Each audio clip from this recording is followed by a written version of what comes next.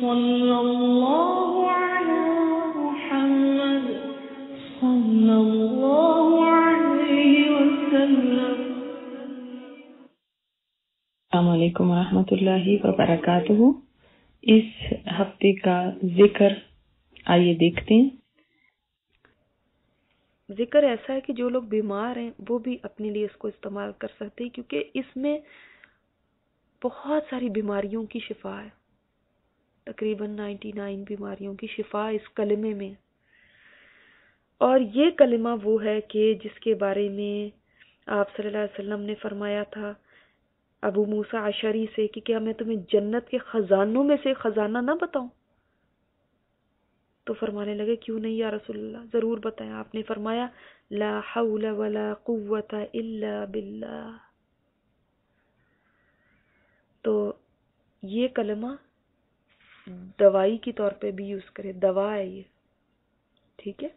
बीमारियों की दवा है। ला वला कुव्वता इल्ला बिल्लाह।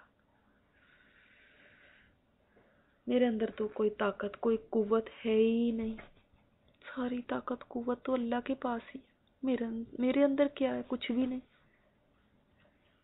तो ये कलमा, समझ के ज़रा जो है ना, अगर आप इस्तेमाल करेंगे इसको, इसलिए इस्तेमाल करना कह रही हूँ, क्योंकि जिन्होंने दवा के तौर पे इस्तेमाल करना है, फिर लोग ज़्यादा शौक रखते हैं, फिर उस कलमे को ज़्यादा